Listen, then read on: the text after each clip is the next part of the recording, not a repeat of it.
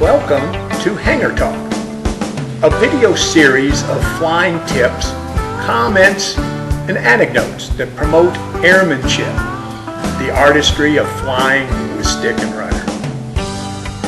If you want to become a great flyer, a good stick, there are only two fundamental skills to master. Do not stall and control yaw. Hangar Talk is committed to teaching those fundamentals and to flying for fun, flying with style, and flying safely.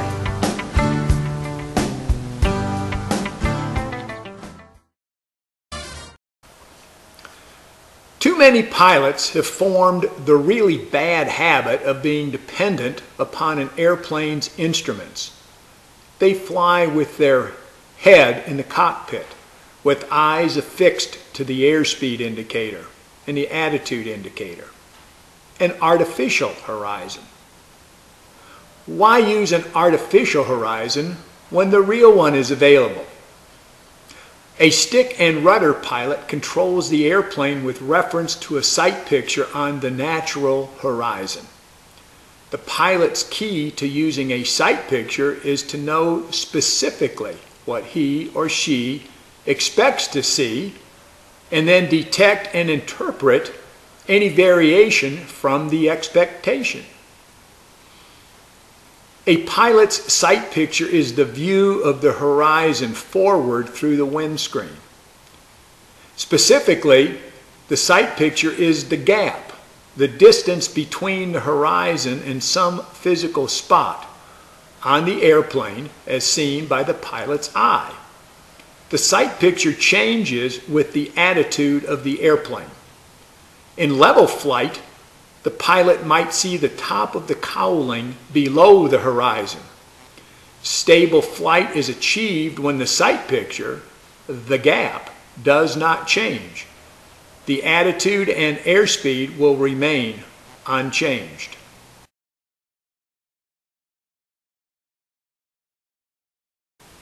When departing level flight into climbing flight attitude, the pilot's perspective will see the nose or cowling rise towards or above the horizon. The gap is decreasing.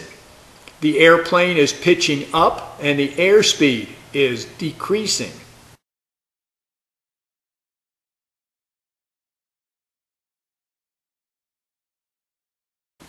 When the airplane moves to a descending flight path, the pilot's perspective places the nose well below the horizon. The gap is greater than the level flight attitude. The airplane is pitching down and the airspeed is increasing.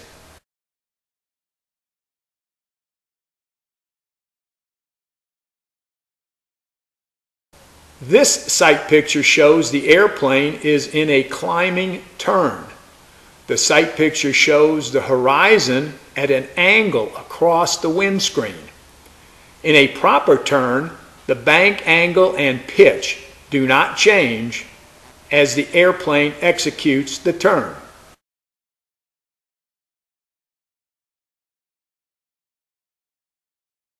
Use the sight picture to recognize the adverse yaw that characterizes an uncoordinated turn. Note how the nose moves up and to the right as the airplane rolls into a turn without proper use of the rudder. In a properly coordinated turn, the nose does not pitch up the sight picture gap is unchanged. And of course, the bank angle remains constant. Learn to use the sight picture.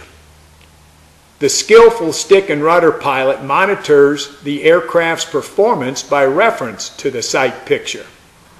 If the picture is unchanging, the airplane is stable and flying the intended flight path when the sight gap and or bank are in a constant flux, the pilot is over controlling.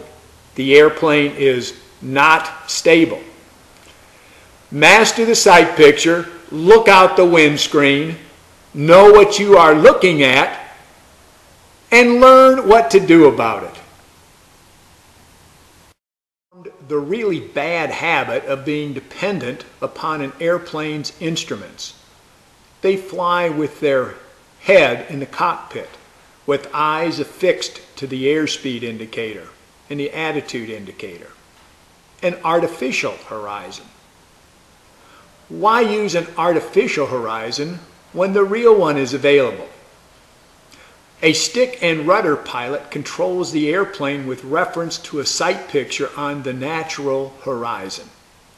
The pilot's key to using a sight picture is to know specifically what he or she expects to see and then detect and interpret any variation from the expectation. A pilot's sight picture is the view of the horizon forward through the windscreen. Specifically, the sight picture is the gap, the distance between the horizon and some physical spot on the airplane as seen by the pilot's eye. The sight picture changes with the attitude of the airplane. In level flight,